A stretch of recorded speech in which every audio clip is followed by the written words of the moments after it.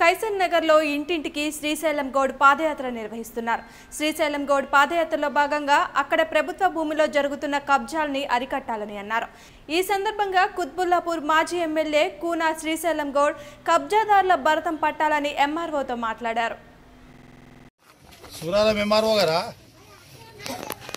मुबारक साहब चार्ज नया चार्ज लिया अब नया एम आए మీ-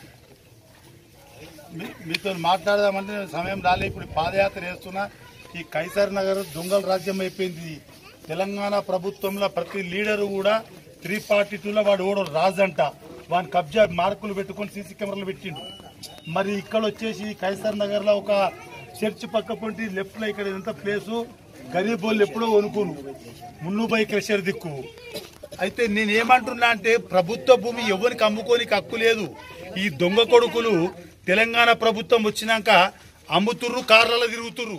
వాళ్ళు పెద్ద లీడర్ లెక్క బిల్డప్ ఇస్తుర్రు. మీరు మొన్న వచ్చాక చాలా మంది మీద కేసులు పెట్టిర్రు. నేను కూడా మీ ఎంబడి వస్తా.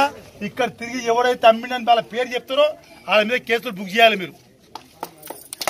ఎందుకంటే మీరు చాలా మీరు చాలా మీరు చాలా యాక్టివ్ పనిచేస్తున్నారు రోజు పేపర్లో చూస్తున్నా ఈ యొక్క కేసులు కూడా బుక్ చేస్తుర్రు. మరి వీళ్ళంతా ఏవైతే చేస్తుర్రో మరి మండల ఆఫీసులనే స్కెచ్ చేస్తున్నారని చెప్పి దానికి భిన్నంగా మీరు పనిచేస్తున్నారు. సంతోషం. అదే సంతోషము. నేను కూడా ఒక తొమ్మిదేళ్ళు పవర్ చూసినా లీడర్లను చూసినా ఆఫీసర్లను చూసినా ఎవరితో ఏం మాట్లాడినా నాకు కూడా కొంత ఐడియా ఉంది. ఈ తెలంగాణ ప్రభుత్వం అంతా కొత్తగా వచ్చిర్రు. ఇంతవరకు అడగండి అంత ఉందాక అంతా కేసీఆర్ లేదు కానీ మీరు దయచేసి ఈ కైసర్ నగర్లో ఒకసారి తిరగండి. నేను కూడా తిరుగుతా. మీకు కంప్లైంట్ రాసిస్తా.